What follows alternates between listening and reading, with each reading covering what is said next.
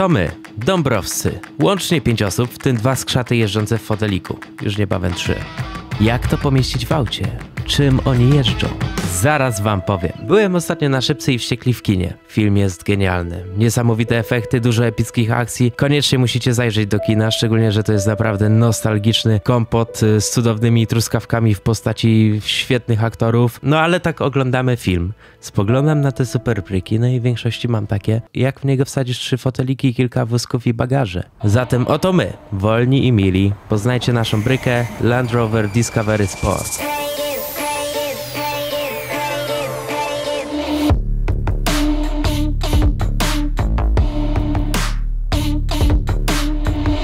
Posłuchajcie moto historii mojego życia. Zdałem prawo jazdy od razu, jak tylko ukończyłem 18 lat. Miesiąc później zakupiłem pierwszy samochód, Skodę Octavię za 11 tysięcy złotych. Gdy wracałem do domu na święta, zmieniałem płytę CD i nie zauważyłem, jak kierowca przede mną nagle sobie przypomniał o tym, że musi skręcić prawo. Zahamował gwałtownie. Ja niestety nie zdążyłem zahamować i rozwaliłem całe auto o jego tył. Nabrałem mnóstwo pokory do prowadzenia auta, no i zacząłem się bać. Myślę sobie, że kurczę, naprawdę chwila nieuwagi może skutkować utratą życia. Ja mogę komuś coś zrobić, ktoś może mi coś zrobić. No ale przemogłem ten strach i po 6 miesiącach zabrałem w leasing Toyotę Corollę. Kupiłem ją za 72 tysiące, no ale niestety tym autem też nie ominąłem kolizji. Tym razem to nie była moja wina. Pani cofając nie zauważyła, że stoję za nią i po prostu walnęła mi w przód. No i mój kolejny samochód, chyba najbardziej wypasiony, najbardziej dopasowany pode mnie, bo tam już wybierałem każdy szczegół, każdy dodatek no to Honda Civic. E, kupiłem ją za 108 tysięcy, tam pamiętam, że też ona kosztowała mniej więcej katalogowo 130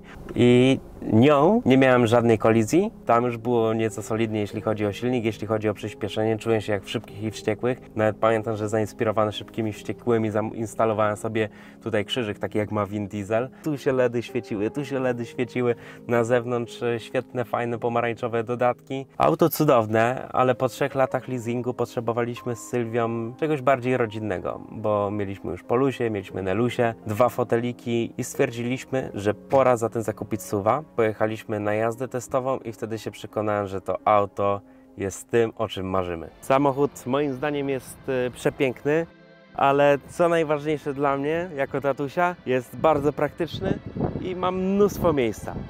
Zacznijmy od rzeczy bardzo ważnej, gdy ma się sporą rodzinę, bagażnik. Można tutaj zmieścić wszystkie wózki, można zmieścić wszystkie bagaże. Dodatkowo czasami jeszcze wozimy ze sobą łóżeczko przenośne, więc też tutaj y, się zmieści. Dodatkowo fajne jest to, że to auto jest siedmioosobowe. Wystarczy po prostu pociągnąć. Jest fotel rozłożony. Z tyłu pasażer też ma możliwość ładowania telefonu, jest oczywiście klima, są wieszaki takie specjalne, żeby można na nim było zawiesić e, swoje zakupy. No naprawdę bagażnik jest klasa, ale w pewnym momencie jednak nie był aż tak wystarczalny, bo chciałem przewieźć rowery. No i wtedy zainstalowaliśmy właśnie relingi, dzięki którym możemy pomieścić tutaj dwa rowery. Na dachu można też zainstalować taki specjalny namiot, yy, można też zainstalować dodatkowy bagażnik i to jest zarąbiste w tym aucie, że ta przestrzeń na dachu jest ogromna, więc tam można mnóstwo fajnych rzeczy zainstalować, dzięki czemu jeszcze bardziej cieszyć się z podróży. Jeśli chodzi o kolejne fajne familijne rzeczy, to mamy izofixy z przodu, czyli możemy podpiąć właśnie foteliki. Łącznie możemy w tym samochodzie podpiąć trzy foteliki. Akurat będziemy mieli trójkę dzieci, trójkę cudownych córeczek, więc każda będzie mogła sobie bezpiecznie usiąść. Jedna z przodu, dwie z tyłu i tego miejsca, jak tam są dwa foteliki, jest naprawdę sporo. Jak przystało na szybkich i wściekłych, to musi być dobra muzyka. U mnie w autku też jest dobra muzyka. Zainstalowaliśmy sobie takie specjalne głośniki i to pięć dodatkowych głośników, którymi możemy sterować e, tutaj w kokpicie. Po prostu sobie klikamy, gdzie ma być słyszana muzyka. Jeśli na przykład dzieci śpią, a ja chcę sobie posłuchać fajnie muzyki, mogę ustawić tak, że muzyka leci tylko z przodu, na, na tych y, głośnikach z przodu, dzięki czemu dzieci nie słyszą, co tatuś słucha. Świetne w tym aucie jest to, co pokochałem na jeździe testowej, że można włączyć sobie ogrzewanie kierownicy.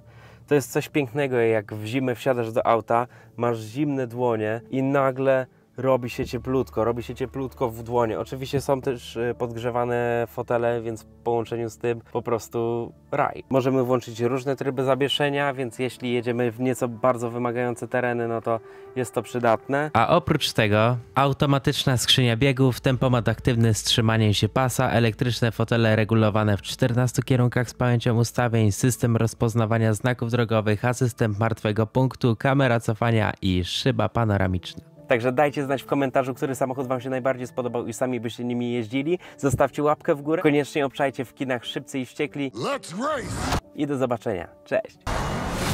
This is the end of the road, Don.